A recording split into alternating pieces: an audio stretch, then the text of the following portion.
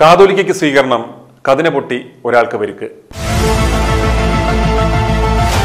Puthencruz Saint Peter's and Saint Paul's പള്ളിയിൽ ഇന്ന് നടന്ന കുര്യാക്കോ സഹദായുടെ പെരുന്നാളിനോടും നഭാപേക്ഷിക്തനായ കാതോലിക്കയ്ക്ക് നൽകിയ സ്വീകരണവും അടിപിടിയിൽ കലാശിക്കുകയും ബാബയ്ക്ക് നൽകിയ സ്വീകരണത്തിൽ കതിനെ പൊട്ടി കതിനെ പൊട്ടിച്ച വിശ്വാസിക്ക് ഗുരുതര പരിക്കേൽക്കുകയും ചെയ്തു.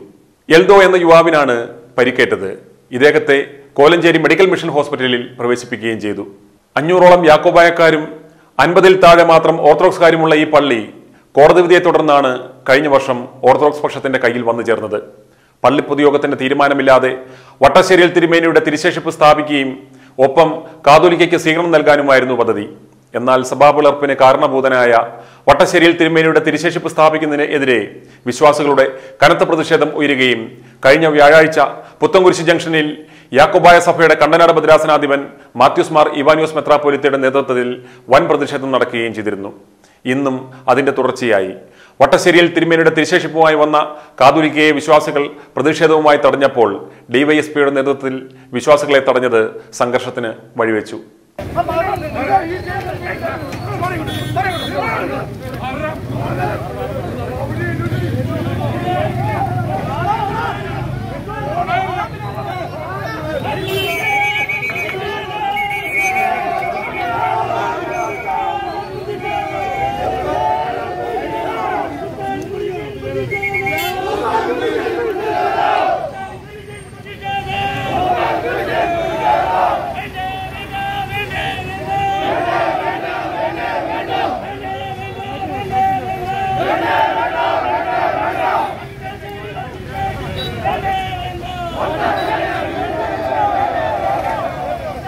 തോരാതെ പെയ്ത കടുത്ത മഴയെയും അവഗണിച്ച് നൂറുകണക്കിന് വിശ്വാസികൾ കാതോലിക്കയെ കരിങ്കുടിയുമായി തടഞ്ഞു.